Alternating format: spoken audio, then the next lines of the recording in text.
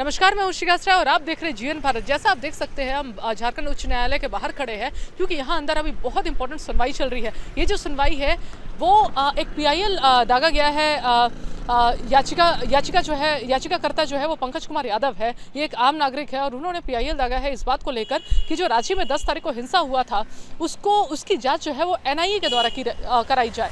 आपको बता दें, अभी तो पुलिस अपने स्तर पर जाँच कर रही है, लेकिन अगर एनआईए जाँच करेगी क्या नहीं करेगी, ये तो अंदर की सुनवाई से ही निकल के सामने आएगा। सुनवाई में अभी काफ़ी वक्त है, पहले लंच होगा, उसके बाद फिर से एक बार सुनवाई होगी। तो रात तक शायद कुछ इन्फॉर्मेशन मिले, जिसका अपडेट हम आपको कल देंगे। लेकिन हम आपको ये बताना चाहते हैं कि एनआईए अगर जाँच होती है तो क्या कुछ निकल के सामने आएगा? अगर याचिकाकर्ता ने साफ़ तौर पर उन्होंने प्रतिवादी बनाया है ईडी को आईटी को आईटी को, इसके साथ ही एसएसपी को एसपी को ओवैसी को, और इन सबको प्रतिवादी बनाया है, और कहा है कि इस जो ये जो हमला हुआ है दस तारीख को हिंसा हुआ है एक संगठन के द्वारा पत्थरबाजी हुई है इसका जाँच एनआईए को कराना बहुत ज़रूरी है क्योंकि ये पुलिस स्तरीय जाँच से कुछ नहीं होगा। जिस तरीके से पत्थर फेंका गया बड़े बड़े जिस तरीके से पूरा का पूरा मंदिर पे हमला किया गया इसको देखकर ये लगता है कि ये पूरे हंड्रेड परसेंट ये पहले से साजिश हुआ था पहले से पूरा आ, पूरा प्री प्लान था। तो ये जो प्री प्लान है तो कहीं ना कहीं से फंडिंग भी ज़रूरी होगी। तो ये जानकारी चाहिए कि फंडिंग कहाँ से हुई, कहाँ पे प्लान बनाया गया। और ऐसा भी माना जा रहा है कि रांची में फ़िलहाल कुछ रोहिंग रोहिंग्या के मुसलमान और बांग्लादेश के मुसलमान रह रहे हैं।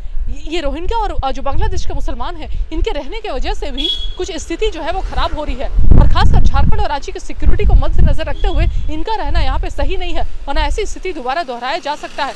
इसके साथ ही एनआईए जाँच के साथ ही याचिकाकर्ता ने यह कहा है कि झारखंडी झारखंड संपत्ति विनाश या झारखंड संपत्ति विनाश 2016 जो लॉ है उसको आ, उसके तहत जो भी आरोपी उग्रवादी जो पत्थरबाजी करते हुए पकड़ाए या जिन्हों जो हिंसा में शामिल थे उनके घर पर उनके घर को तहस तहस किया जाए, उनके घर पे बुलडोजर चलाया जाए, उनके घर को पूरी तरीके से उनकी प्रॉपर्टी को जब्त कर लिया जाए, इस तरह की चीज़ें होनी चाहिए। आपको बता दें, दो हज़ार सोलह का ये लॉ है, इसके तहत जो भी उग्रवादी है, उनके घर पर बुलडोजर चल सकता है। ये लॉ झारखंड में भी है। आप जैसा अभी यूपी में देख रहे होंगे, योगी सरकार के पास कि योगी सरकार फाइनली कितने लोगों के घर बुलडोजर तो चला चुकी है, अब तो योगी जी का नाम भी रख दिया रख दिया गया है।